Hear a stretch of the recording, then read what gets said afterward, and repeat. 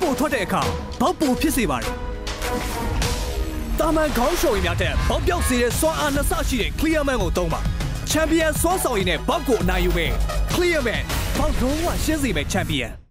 ကွာဖလာအောက်စုခဒုတိယပွဲစဉ်မှာတော့ပေါ်တူဂီဟာအသင်းကောင်းဆောင်စီရိုနယ်ရိုရဲ့တလုံးထဲသောဂိုးနဲ့မော်ရိုကိုအသင်းကိုအနိုင်ယူခဲ့ပြီးအောက်စုကတက်ရေးအခြေအနေကောင်းသွားခဲ့ပြီဖြစ်ပါတယ်။ ဒီပွဲမှာပေါ်တူဂီအသင်းဟာအနိုင်ရခဲ့ပေမဲ့လည်းပိုကောင်းအောင်ကစားသွားနိုင်ခဲ့တာကမော်ရိုကိုအသင်းဖြစ်ပြီးအဆုံးသက်ပိုင်းအားနည်းမှုတွေကြောင့်သာရှုံးနိမ့်ခဲ့ရတာပါ။ပေါ်တူဂီအသင်းဟာပွဲအစပိုင်းမှာကလေးကတိုက်စစ်ဆင်ကစားခဲ့ပြီးပွဲအစ၄မိနစ်မှာပဲဥဆောင်ကိုနဲ့ဒီပွဲရဲ့တလုံးထဲသောဂိုးကိုရရှိခဲ့တာပါ။ဒီဂိုးကိုတော့တောင်းငံဘောကနေအပေးယူလုပ်ပြီးမော်တင်ကိုကန်တင်ပေးခဲ့မှုကိုစီရိုနယ်ဒိုကအနီးကပ်ခေါင်းတိုက်သွင်းယူပေးခဲ့တာပါ